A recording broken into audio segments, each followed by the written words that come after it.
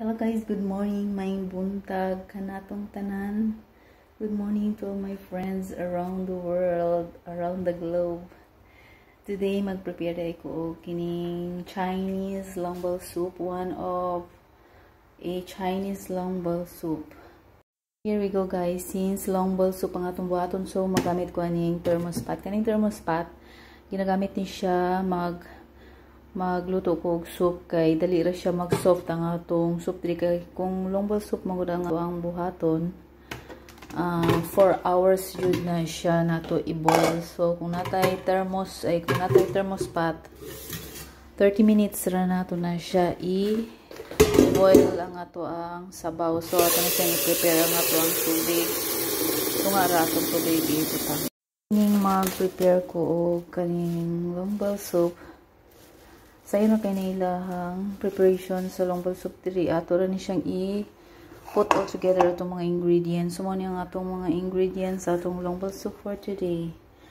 So, mo ni siya na atay lemon peel. Ato na siyang i-put all together sa to ang thermospat na atay pork bones. Kaning pork bones ako na ni siyang gipabukalan para matanggal tong mga excess fats. And then, natayani nga klase nga no nga roots. Ingani nga klase nga roots.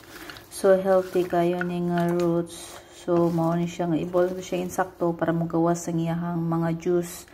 Kay na ni siya daghan nga mga health benefits. So mao ni siya nga atong ipandra.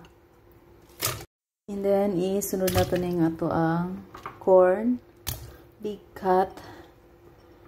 And then natay nga ni nga klase nga roots kamo na mag-identify unsa ni siya nga roots.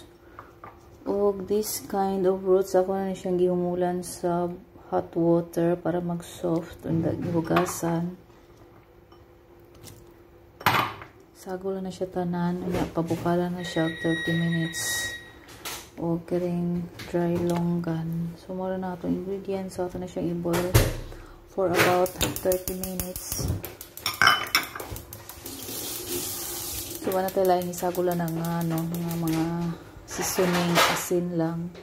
So, ready na na siya. Before dinner, i-heat up lang siya. Butag asin gamay. So, that's it. Our healthy soup. Chinese longball soup.